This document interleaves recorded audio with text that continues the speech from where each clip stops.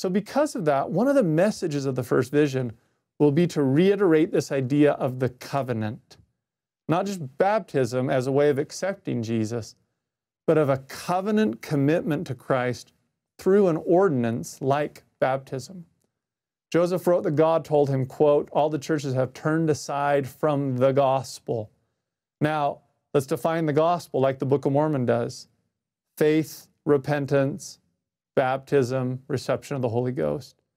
Or in 1843, he was told they were all wrong and the everlasting covenant was broken. That's the Levi Richards account of the first vision. Or the 1838 account says that the professors of religion were all corrupt. By the way, that's my favorite line being a religion professor, by the way, that I need to make sure I stay humble. The professors of religion were all corrupt. They teach for doctrines the commandments of men, message number one. Now, message number two. You ready? Stick with me on this. They have a form of godliness, but they deny the power thereof. What does that have to do with ordinances? Well, you have to connect that line with a later revelation to Joseph Smith. Cross reference that with Doctrine and Covenants, section 84, verse 20 through 21. What does the Lord say there? He says, Joseph, in the ordinances, the power of godliness is manifest. And without the ordinances of the gospel, the power of godliness is not manifest. Now, connect that to the first vision. Joseph, they have a form of godliness. They teach about Jesus and, and, and his teachings, which is wonderful.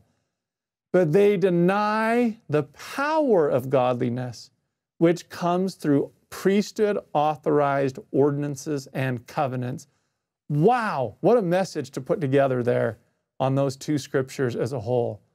Uh, therefore, in the ordinances, that was a signal from the very beginning that this restoration would be a restoration of ordinances, covenants, and priesthood to perform them. That's what sets us apart a little bit different.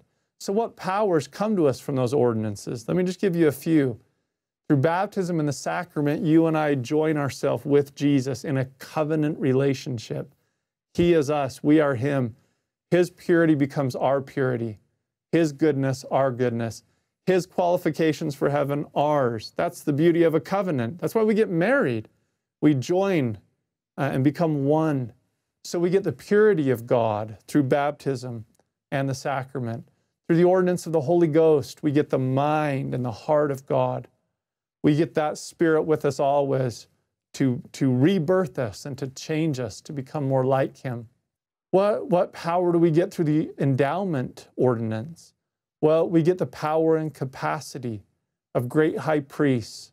We get the knowledge of God and the power to come into His presence, the power to perform miracles uh, and come unto Him to receive His fullness. Well, what power do we get through uh, the ultimate ordinances of the temple, like sealing of a couple? Well, through that, we get the eternal increase of God, the ability to have an eternal family and to grow and become like God. The power is found in the covenants and ordinances. And that is rooting right from the first vision.